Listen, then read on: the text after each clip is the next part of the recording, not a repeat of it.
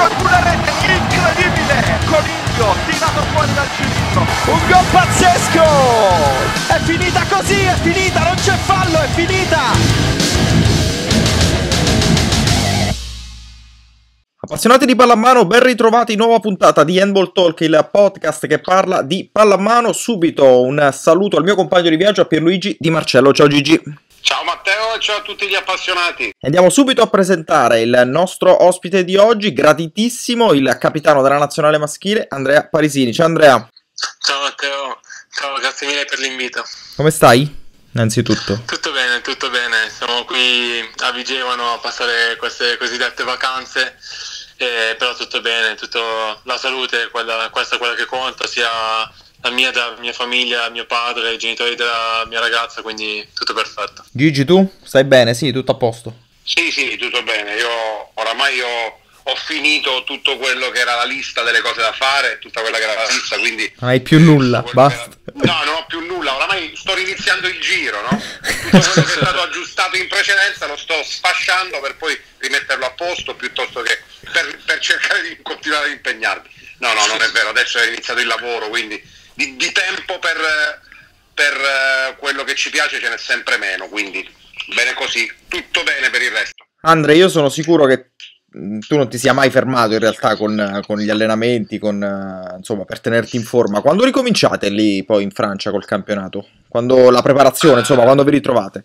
Noi in teoria la, la preparazione inizia il 20 luglio, però essendo che ci saranno da fare non so quanti miliardi di test prima di ricominciare, l'appuntamento è una decina di giorni prima a Istre per, eh, innanzitutto per rivedere tutto il gruppo, anche perché molti erano partiti, chi, chi è come me straniero era già ritornato a casa a inizio proprio eh, prima che eh, scattasse il lockdown anche in Francia e molti altri francesi sono tornati comunque nelle loro città. E quindi è da, da molto che non ci vediamo quindi sarà anche due o tre giorni per, ricreare quella sorta, quel gruppo che c'era prima e poi si inizierà con i test però la vera preparazione in teoria inizia il 20 luglio. Ok ehm, Caparezza cantava virgolettato il secondo album è sempre il più difficile nella carriera di un artista. Questo voglio, voglio arrivare a dire Andre affermarsi è un conto, riconfermarsi è sicuramente poi la cosa, no, lo step, il gradino più alto da superare. Gigi, so che hai apprezzato la, la citazione. no. no, volevo arrivare a dire, Andre, sei stato eletto da una nota testata specialistica francese rivelazione dell'anno della Lidl Star League prossimo anno immagino che tutti, soprattutto la, sua, la, tua squadra, ma anche tu stesso, vi aspettiate una riconferma. Guarda, per me è stato a parte un onore incredibile perché arrivare a giocare in Leader Star League per me era già davvero tantissimo. Poi eh, all'inizio, soprattutto all'inizio di quegli allenamenti, vedevo il livello, avevo veramente paura di non di poter fallire, ma comunque di, di trovare molte, molte, più difficoltà di quelle che invece, grazie anche all'allenatore che mi ha dato subito fiducia, mi ha permesso di giocare molti minuti e ai compagni di squadra che mi hanno permesso, poi soprattutto quei due o tre che mi davano molti palloni, mi hanno permesso di, di potermi esprimermi al meglio e quindi è stato per me un grande onore ricevere questo, questo premio. E però sì, come dici tu, adesso, adesso arriva il duro perché comunque l'annata con Strasburgo era sì, le, mh, individualmente era andata molto bene perché era stato giocatore del mese di febbraio, un'altra volta nominato ad aprile e nominato fra i tre migliori pivot è andato molto bene, però ah, è uno sport di squadra la pallamano e quindi avevamo fallito il nostro obiettivo che era la salvezza.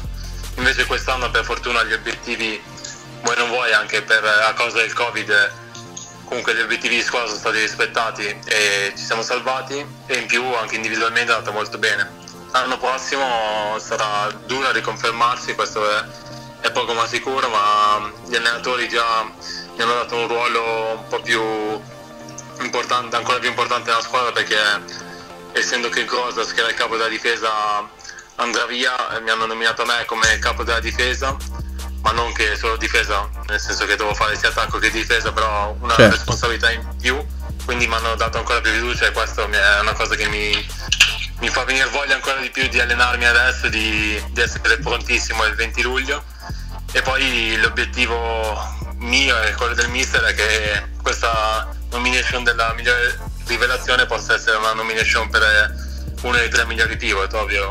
È molto difficile, però io sogno in grande, quindi voglio farò di tutto per essere prima per raggiungere la salvezza agonista e poi per questo obiettivo individuale. Anche perché Gigi ci ha già dimostrato che ogni volta che sogna qualcosa poi ci riesce, quindi... Allora, infatti, infatti eh, io prenderei spunto da quello che ha detto Andrea uh, in questo momento. Sogni in grande, io lo chioserei con realizza i grandi sogni, perché in realtà ehm, parliamo di, di, un personaggio della pallamano che è entrato in tackle scivolata a gamba tesa su tutto quello che è il nostro mondo. Partito da Vigevano, Cologne, Carpi, seconda lega francese, Leader Star League, tutto in un amen solo grazie alla pandemia, al Covid-19, Sarkozy è rimasto al potere perché se avesse continuato questa ascesa probabilmente l'avremmo avuto ai campi elisi. Eh, io sono veramente esterrefatto perché chiaramente e soprattutto mi piace tantissimo sentirlo parlare, io l'ho conosciuto così e, e la, e la mia gioia è nel ritrovarlo così, cioè queste altezze, queste vertigini ad Andrea non hanno dato alla testa e si sente dalle sue parole. Quindi il fatto di essere lusingato, di essere stato investito da nuovi ruoli, ma è comunque continua ad essere umile perché uno che sogna in grande è abituato a non accontentarsi, ad abituarsi a spingere sempre il cuore oltre l'ostacolo e uno come lui è abituato a lavorare perché questo è la, ne abbiamo parlato poco prima dell'intervista lui è uno di quelli che è sicuramente di talento tantissimo cuore da morire intelligenza tattica quanta ne vuoi ma soprattutto ha una voglia una capacità di abnegazione che è indispensabile per poter realizzare i propri sogni. Andrei grazie mille per, per le bellissime parole Gigi veramente grazie di cuore ma ma no, fa sempre piacere sentire certe parole. Io l'ho conosciuto Andrea e dicevo Matteo prima che... È uno dei tanti che ha giocato, che, con cui hai giocato, della lunghissima lista. È uno che ho avuto l'onore, come dire, di battezzare, no? In una delle, delle, delle mie ultime comparse, in una delle, delle ultime insomma, convocazioni, è stata una delle sue prime in realtà, no? Quindi ci siamo staffettati un po' chiaramente all'interno della, della nazionale. Lui è già diventato capitano, in pochissimo tempo ha raccolto il, eh, il testimone di Pasquale Maione, suo compagno di ruolo, che eh, sono certo sia stato orgoglioso e soprattutto eh, con l'anima e la coscienza a posto nel, nel, consegnare la fascia ad una persona come Andrea e come dire chi non potrebbe esserlo. Quindi eh, stiamo in ottime mani. E con lui e quindi passo la palla a Matteo dietro di lui, accanto a lui, in quella stessa annata, eh, penso che sia stata un'annata molto importante e probabilmente lo snodo della pallamano eh, italiana passa per eh, i 94, i 93, i 92, i 95, o sbaglio? Eh sì Andre, no, siete, siete, un gruppo piuttosto compatto in nazionale, diciamo, dai 92 più o meno in poi un gruppo di giocatori insomma che state facendo tutti accumulando tutte esperienze importanti e l'abbiamo detto tante volte avete praticamente rappresentato il ricambio generazionale della nazionale tra l'altro all'interno del quale si stanno inserendo anche ragazzi ancora più giovani come per esempio i gemelli Vengon come Bortoli però sicuramente possiamo guardare al futuro che non è tanto lontano in realtà e poi ne parleremo delle qualificazioni dei campionati europei eh, con fiducia no? Ma eh, sì, guarda, io noi ho fatto parte nelle azioni giovanili di questo gruppo 94-95 e sapevamo del, che eravamo un gruppo che poteva dare molto di più di quello che in realtà ha dato perché non abbiamo mai avuto grandi exploit come ha fatto per esempio la generazione dei 2000 però sapevamo che cioè, Busamini, Moretti, Dapiran, eh, Stabellini esperti, cioè, avevamo un grande gruppo con la Suono ai tempi che poi problemi ha E, e siamo già al 6-7? Siamo esatto, già al 6-7? Quindi, quindi, è già un ottimo numero per le percentuali delle annate. Eh sì, eh sì, eh sì. sì, sì, sì. E infatti non... poi si sono ritrovati pian piano chi prima e chi dopo nel gruppo della nazionale senior, come diceva Gigi, poi eh, quando a una delle sue ultime convocazioni per me era una delle prime, invece Carlo e, e Gianluca della Piramide c'erano già come Stabellini e quindi ci siamo ritrovati a essere noi, adesso siamo noi praticamente i vecchi della nazionale se vogliamo perché a parte Martin Sonner e, e Dejan e Michele poi tutti gli altri sono, fanno parte del 94-95 perché anche Mimmo Ebner e Arden Iballi che non facevano parte della nostra nazionale giovanile comunque eh, sono entrati a far parte della nazionale senior. E poi come hai detto tu abbiamo questi abbiamo già Jack Savini del 98 che comunque è l'annata prima dell'annata oro se vogliamo dire così dei 2000 che stanno dando molti, molti ragazzi giovanissimi a questa nazionale senior e secondo me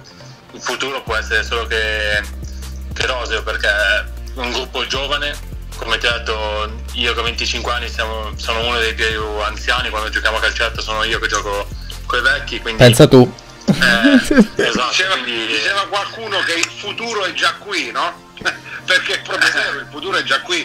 Pensa che Andrea ha appena detto eh, in maniera en passant, no? Però eh, se uno poi si ferma a pensare alle date, lui è diventato vecchio dal gennaio 2017 al gennaio 2020 è passato da essere giovane ad essere già vecchio in nazionale, no? considerato tale. Questi sono proprio esatto. come la, la, la, lo spazio-tempo dello sport, alcune volte è dilatato in eccesso e altre volte è costretto. Sì, è stato un, un, un, ricambio repentino, diciamo. Sì. sì, sì, sì, decisamente repentino. E quindi eh, secondo me anche la, la brutta prova perché così possiamo chiamarla quella di gennaio a Benevento può essere anche data dall'inesperienza di un gruppo che comunque come ho detto è giovanissimo e si deve ancora far trovare pronto e deve ancora secondo me eh, far vedere le proprie le vere capacità le, dove veramente può arrivare questo gruppo che secondo me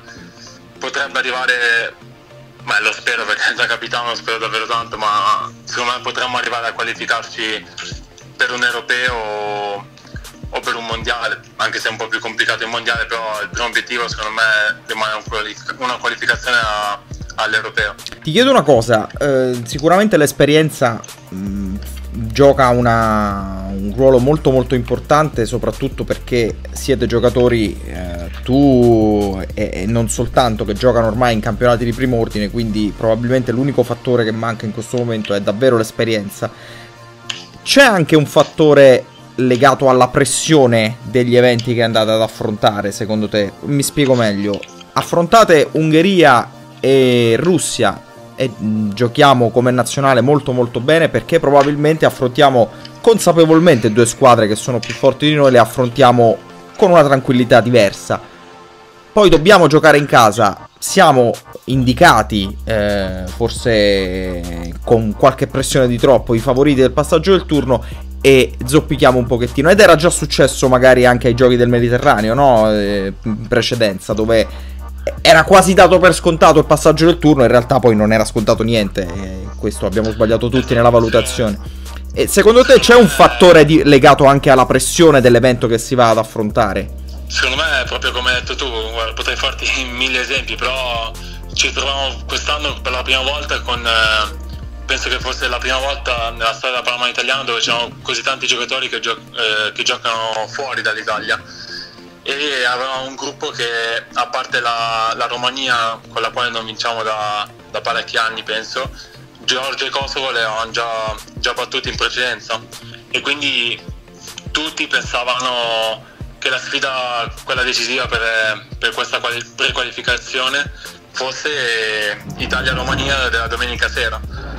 E quindi secondo me un po' di pressione ce l'abbiamo avuta perché comunque sai, devi dimostrare che non giochi fuori solo perché hai avuto la fortuna, ma devi dimostrare che giochi fuori per capacità e doti che hai e quindi ci siamo ritrovati un po' forse sotto pressione, un po' di inesperienza perché come ha detto il gruppo giovane e ci siamo ritrovati a prendere il gol del pareggio al Kosovo dall'ultimo secondo e dirci ah cosa è successo, cioè cosa sta succedendo, perché?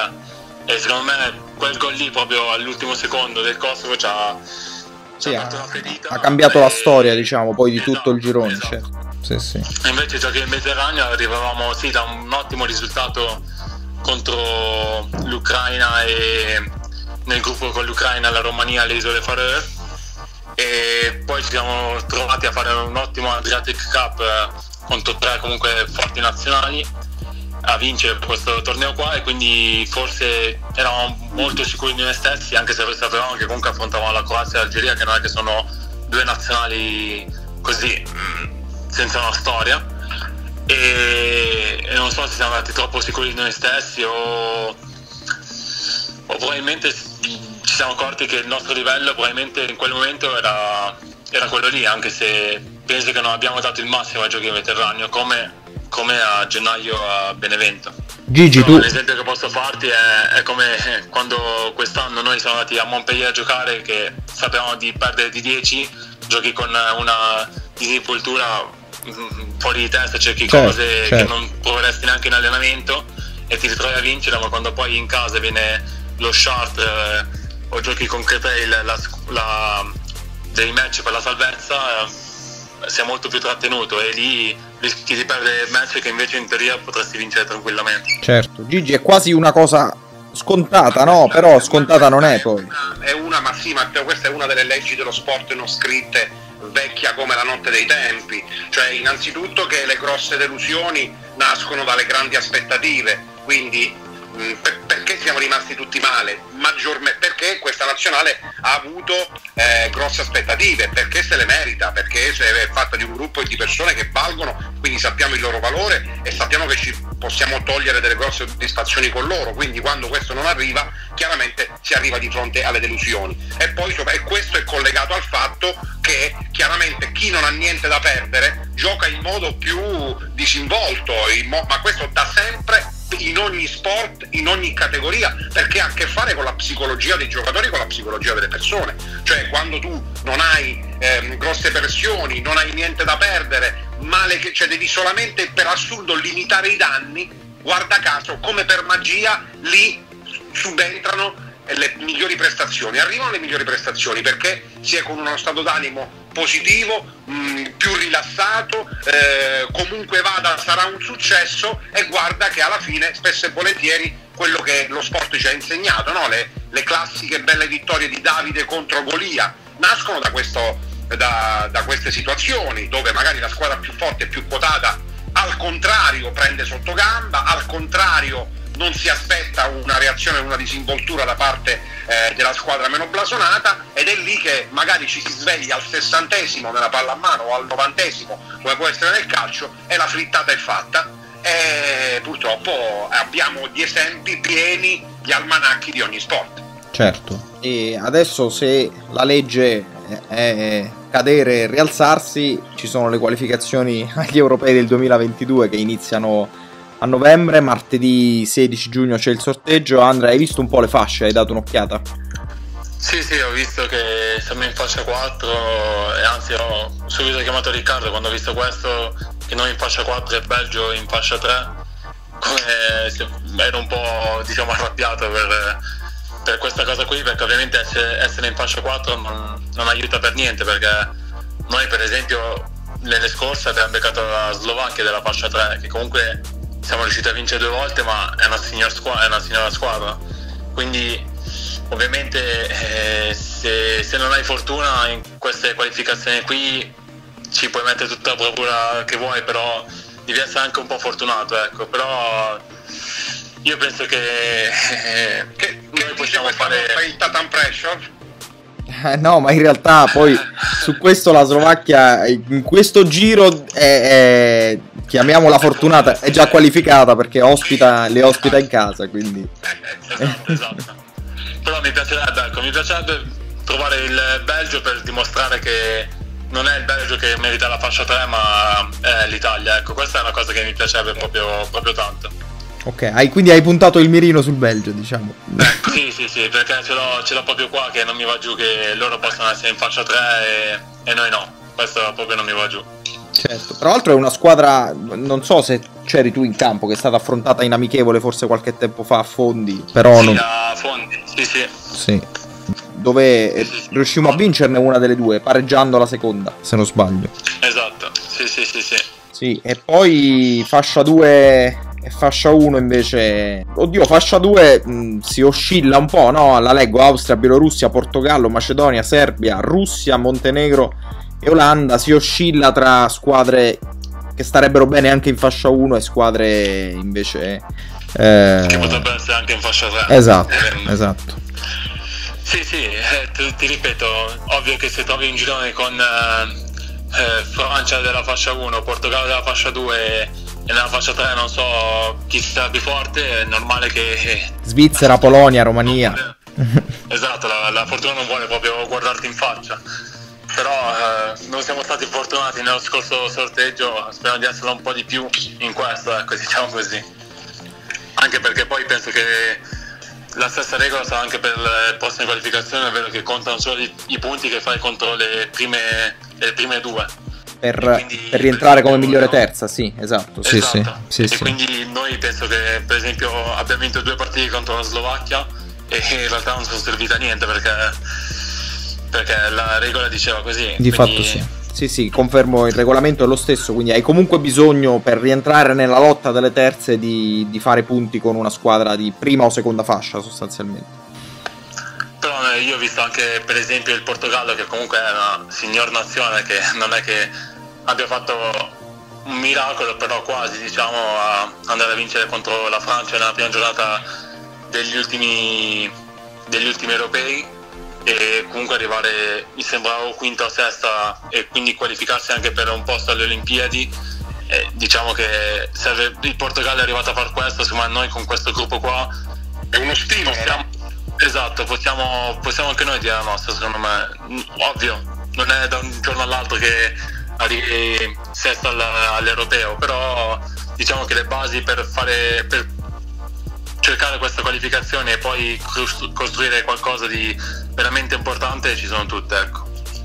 Gigi. Eh, eh, Matteo, la mia considerazione abbraccia un po' ed è, ehm, ed è un continuo di quello che abbiamo detto poc'anzi, è un po' mixata anche a quello che ha detto adesso Andrea, cioè l'augurio della mia, eh, l'augurio e la consapevolezza, la speranza che ho eh, in questo gruppo è proprio questa, cioè eh, che ehm, tutta questa consapevolezza, cioè tutto quello che ci siamo detti prima, no? il fatto di eh, prendere sotto gamba l'aspetto la normalità delle cose, cioè che la squadra più forte sottovaluta, la squadra più debole e non ha niente da perdere. Poi in realtà è, è, tutto vero, ma nella mediocrità delle cose, nella normalità delle cose. Poi in realtà la squadra che sa vincere qual è? Quella che riesce a trovare un equilibrio in base al quale si affrontano le partite tutte quasi allo stesso modo. E questo è che impedisce questo andamento sinusoidale e questi sbalzi di comportamento delle squadre. So che Riccardo Trillini è uno molto attento a questa cosa e, e, e so perfettamente che la maturità di questa nazionale e l'acquisizione dell'esperienza passa, attra- non può non passare attraverso questo, questo lavoro che mira al raggiungimento dell'equilibrio una, che passa per la consapevolezza. Squadra che deve avere la consapevolezza dei propri mezzi, lavorare, lavorare, lavorare per arrivare ad affrontare tutte le squadre allo stesso modo. E questa è, è una via che può eh, portarci verso grosse soddisfazioni. Non credi Matteo? Assolutamente d'accordo con te. Andre, eh, siamo in chiusura, cioè siamo, ci avviamo verso la fine. Intanto ti chiedo se hai dato un'occhiata un po' al mercato scoppiettante italiano e, e se hai, hai, già chiesto a Stefano Arcieri quale sarà il suo menù in Finlandia. no, ho visto, ho visto, adesso ho visto, mi sembra ieri hanno annunciato uno degli ultimi colpi che. Eh, non vorrei sbagliare il cognome, Nilsson. Nelson, Nelson a Conversano. Nelson, da Siena a Conversano. Conversano che è un ottimo colpo, sinceramente io quando ho visto che sia Ardian che Dainese che Hendrit eh, che anche il portiere andavano via da Conversano non mi aspettavo un colpo così da, da Conversano quindi vuol dire che comunque non vogliono fare un'apparizione l'anno prossimo vogliono giocare comunque per, eh, per il titolo come stavamo facendo quest'anno. Poi ho visto che Bolzano ha perso ottimi talenti come Mate, come Stefano e quindi dovranno cercare di... penso che comunque Bolzano abbiano, abbia dei giocatori che, che non importa se ne perdono due o tre, hanno comunque quei due o tre giocatori di spessore come Felipe, come Dean, come Mario, che, come Martin Sonner che possono fare comunque la differenza no? nonostante l'età avanzi, nonostante tutto. E poi ho visto Cassano ha fatto un gran colpo anche se ha perso un ottimo giocatore come Jackman, ha trovato un altro come Ardian che penso che con una squadra come Cassano possa fare davvero davvero bene. E no, Stefano sicuramente il menù non gli hanno ancora chiesto, però da, da Teramano non so come faccia in Finlandia, però è stato dagli, arrosti, da, da, esatto, dagli arrosticini al salmone, eh, dura. Eh, un, po', un po' diversi, diciamo. Ecco. Secondo me, secondo me, gli arrosticini di salmone non sono la stessa cosa. Insomma. Non sono la stessa cosa. No, no, se mi ricordo di qualche stage fatto in Finlandia, ti posso garantire che tipo, no, ho trovato di meglio nella mia vita, ecco, diciamo così. Bene, e invece mm, che obiettivo ti sei posto a medio termine, diciamo, per quanto ti riguarda, obiettivo personale? Provo a dire, provo a dire qualcosa io, Champions League. Ma eh, quello è, è, il mio sogno, è, è, sarebbe il sogno della, della, mia carriera, riuscire a giocare... Ma tu non dormi mai, Andrea, è sempre una serie di sogni, sono tutti sogni, evidentemente... Cioè, anzi, dormi sempre perché stai sempre sognando, ma in realtà ne hai realizzati così tanti che incrociamo le dita, eh, perché sei addirittura d'arrivo, vai. Eh, esatto, per ora sono riuscito, sono riuscito a, a realizzare i miei, i miei, sogni, i miei obiettivi, eh, non con pochi sacrifici, questo è sicuro, però adesso ti ripeto, il mio primo obiettivo è quello che l'anno prossimo voglio dimostrare sul campo che non è stato solo un anno fortunato per me e che anche Istres non è stata solo fortunata che il campionato si è fermato anche se in quel momento lì avevamo comunque 4 punti di vantaggio sulla, sulla zona rossa e quindi vogliamo dimostrare tutti quanti che ci potevamo salvare come l'anno scorso ci possiamo salvare quest'anno questi sono i primi due obiettivi e poi e poi spero in un'annata buona che possa magari portare a, a una chiamata da qualche squadra diciamo importante ecco. Così non voglio sbilanciarmi troppo. No no non ci sbilanciamo. Hai già, hai già detto tutto.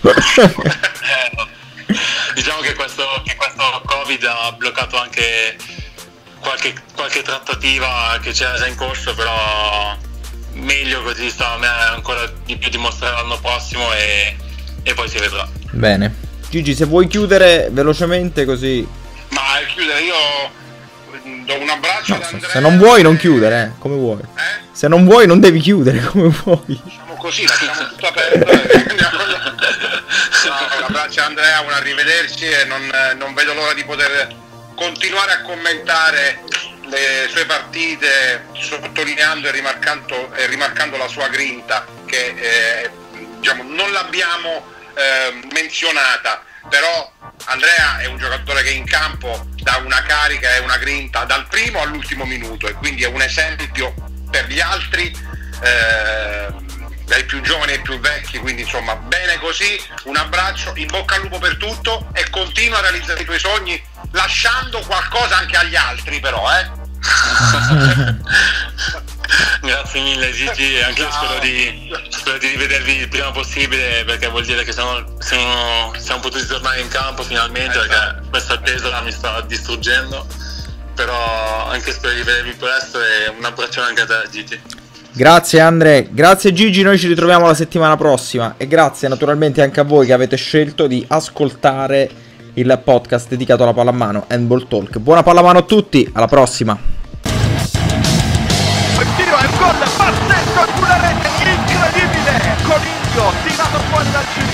Un gol pazzesco! È finita così è finita non c'è fallo è finita